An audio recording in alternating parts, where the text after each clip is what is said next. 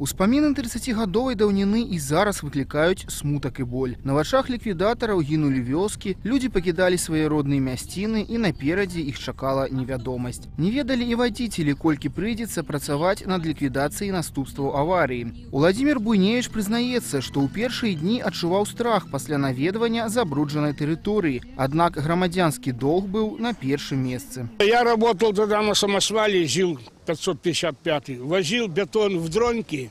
В дроньках делали силосные ямы. Ну а потом уже после этого всего взрыва, уже когда начали копать противопожарные водоемы в деревнях, потому что деревни начали гореть, так копали противопожарные водоемы. Так я тоже на Жилу и Хвойницкий район, и Брагинский район все обслуживал.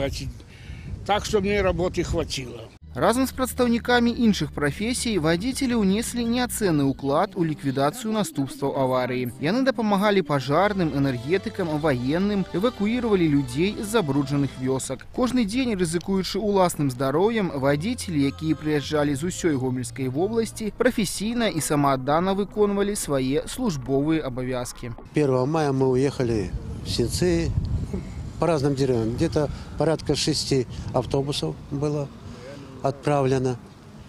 И каждый. Я лично попал э, в Лосы, Синцы.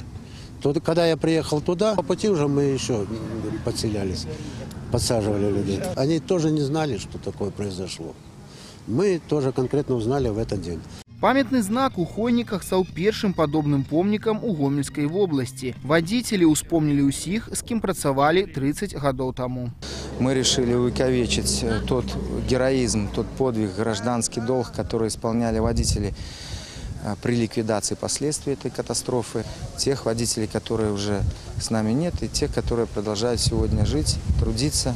У нас есть ветераны такие. И хотелось бы сказать им огромное спасибо и низкий поклон э, за то, что они сделали. Дмитрий Котаў, Сергей Лукашук, тэлерадыёкампанія Гомель, Хойніцкі раён.